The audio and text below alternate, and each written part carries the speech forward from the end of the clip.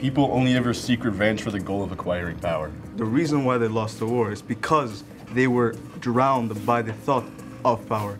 I've seen over and over again with the comprehension clash, the kids are more likely to remember the content as a whole after they've done this because they're reflecting, they're revising, they're listening, they're creating what is it that we did and why does it matter.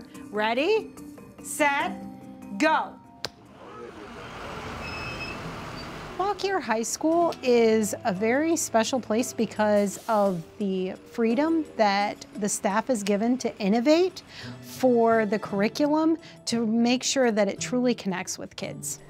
We look at how we can provide voice and choice in our lessons to truly get kids excited about learning.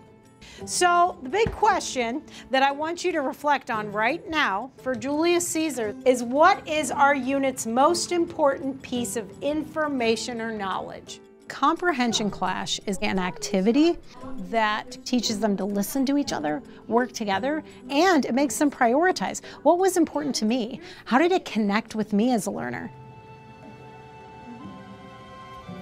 So the first step is to give students time to reflect on their why. Why is this information important to me and what was the most important thing using my own background, my own knowledge, my own resources. Now, I want you to look and find someone who does not have the same response as you. And I want you to have a mini debate with them. You want to know why I chose manipulation? You know how yours is trust, right? And mistrust. Sometimes you can you can manipulate the other person to gain their trust. We discussed it with somebody that had a different opinion to feel out what they thought and to compare arguments to see which one was better. I do like your opinion. Okay. You want to switch? Okay, I'll switch over. Yay! Okay.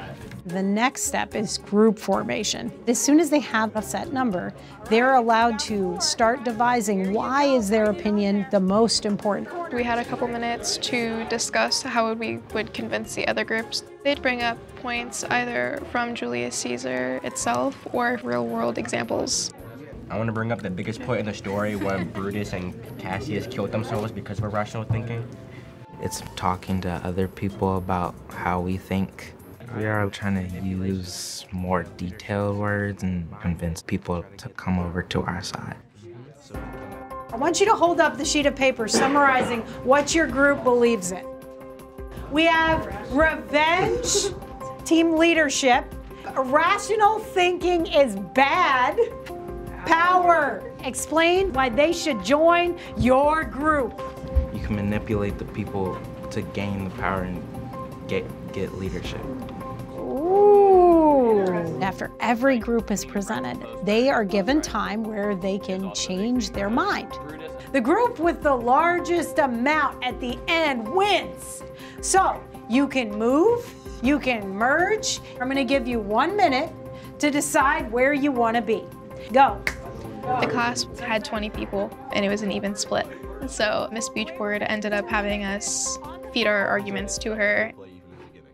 After listening to both sides, I am going to have to walk over to this group.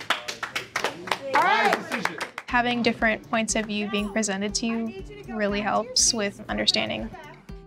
My mission as a teacher ultimately is to make sure that every child realizes that their opinions and ideas are valuable. So many times in education, we have an answer key. There is no answer key to this, and so this is teaching kids that sometimes when we work together, we can find answers. All right, good job, guys. Here, pass them in.